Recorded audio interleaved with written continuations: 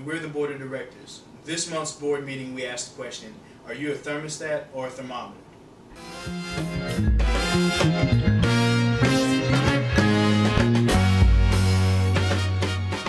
So first of all, I think we should actually define for people what we mean when we ask, are you a thermostat or a thermometer?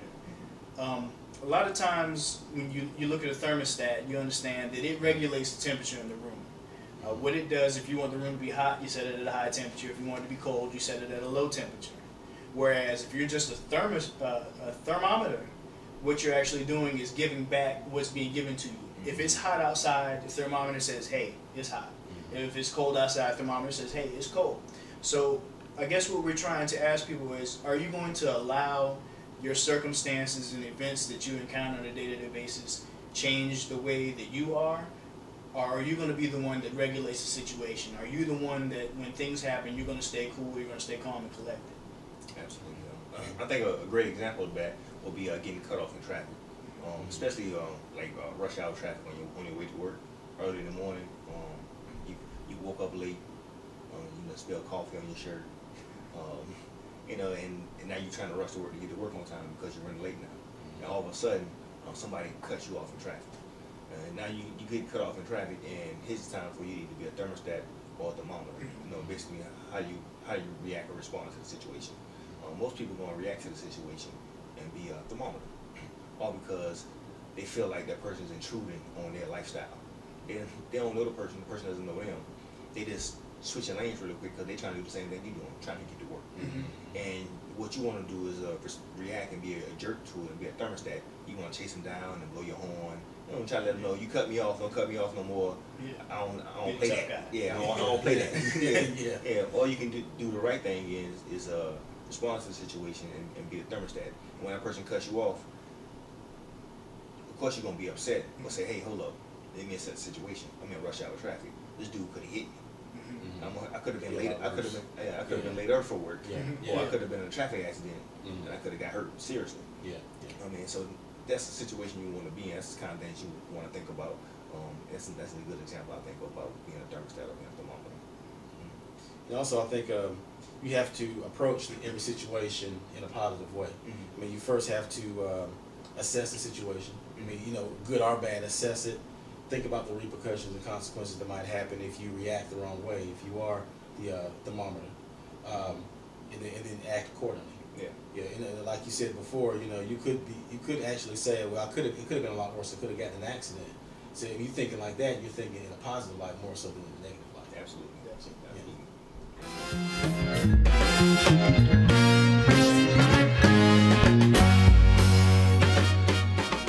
So what steps do you think that a young man should take in order to be able to actually be a thermostat and stay cool or keep his cool and regulate his situation when things arise? Well, number one thing I think of um, before the situation even happens is that you need to develop a positive mental attitude. Um, what that does is it, it causes you to um, think about think about good things, think about the, the appropriate reaction when the situation does come. Um, something you have to practice early. Early, you have to get you have to get your practice in. Uh, that way, when the situation arrives, you know how to respond. It's game time then. So when, yeah, it's, yeah, when, exactly. it's, when it's game time, you know how to respond yeah, to the situation. It's like muscle memory. Yeah, yeah, absolutely, yeah. absolutely. But that's something that has to be developed before then. Uh, that that takes picking up a book, reading a good book. It takes uh, being around good people. Um, that I be the, I guess the, the first step even before the situation even happens. But when the situation happens, uh, Jabari mentioned the first thing you want to do is uh, assess what just happened. Exactly. Yeah. Yeah. It's always better to think, you know, think yourself through a situation mm-hmm. rather than, yeah, thinking is always better than reacting. Absolutely. In, in those situations. Absolutely. Yeah, you want to, to make sure that just like if you're playing sports, if you're a basketball, football player, whatever, that time that you're actually practicing, that's when you're getting prepared for when you get in that situation where you're in the fourth quarter and you're down by two and you know, what are you going to do? You don't have time. You're out of timeouts. There's no time to stop and think.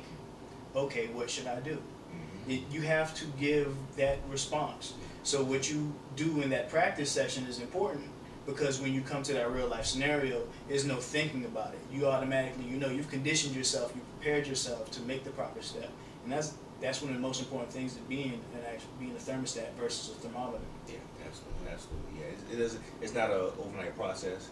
Um, once you make a decision to become the thermostat and not the thermometer anymore, it's not going to happen the next day. No. Like I said, it takes time to develop that skill. Like you said, it takes time to practice. I think it's very important to develop that skill because um, being a, a thermostat is the best way of being a leader. Definitely. You know, because um, you know if, if you control a situation as opposed to control, situation controlling you, you know that's the first step to leadership. That's the first step to passing on your your your calmness and, and control to other people. Yeah. Like, Yeah, if- influence. yeah, exactly. And I think uh, one situation in particular that I think a lot of people can actually visualize what we're trying to say here is you remember when uh, Ron Artest was playing for the Pacers Oh, in, yeah. in Oh, yeah. Detroit. Yeah. And Oh, yeah. he was laying on the scorer's table when the guy in the crowd threw the cup on and hit him. So that was a perfect opportunity for him to say, okay, look, I have the right to be upset. You know, somebody attacks you, somebody throws something at you. Mhm. Yeah, you've got the right to defend yourself, but you have to stop and think and evaluate the situation. It, is running into the stands and attacking this person the best thing I can do right now? Yeah. you know, is putting my so. livelihood Yeah. in jeopardy the best thing for me to do right now? Yeah, he had the right, but just because you have the right to do something doesn't mean that it's the appropriate Yeah. response. That's true. Doesn't Yeah. make it right. That's No. true. That's true. And uh, you saying that it kind of reminds me of uh, um, responding and reacting. Mhm. Um, whenever you, uh, whenever a doctor prescribes a medication to you, you take a drug. He wants to know did you respond to it or did you react to it. Yeah. Um, if you react to the drug, um, it's bad. It's negative. He don't want you doing that anymore. Yeah. Get away from it because it's, it's gonna it's gonna harm you more than what it needs to. But if you respond to the drug, that's good because that's what he wanted your body to do to respond to it appropriately so it can fix what's broken. Yeah. So in a situation, what do you want to do? You want to fix what's broken, or do you want to continue to perpetuate what's going on? So Yeah. we definitely want to um, make sure we respond to the situations instead of reacting. Yeah, reacting will cause more problems than what you had originally too. Yeah, absolutely. Yeah, yeah. Absolutely. Absolutely. Great. Yeah, man. So with all this being said, man, I think um, we do address this in the book, um, "The Makings of a Man." Um, we talk about in uh, "Facing Your Storms" chapter, where we talk about being able to uh, handle situations like this. Um, it's a great read. Um, if anybody hasn't picked up a copy of the book yet, I strongly suggest picking up a copy. Not only do we talk about facing your storms, but we talk about just being a man of character in general. Definitely.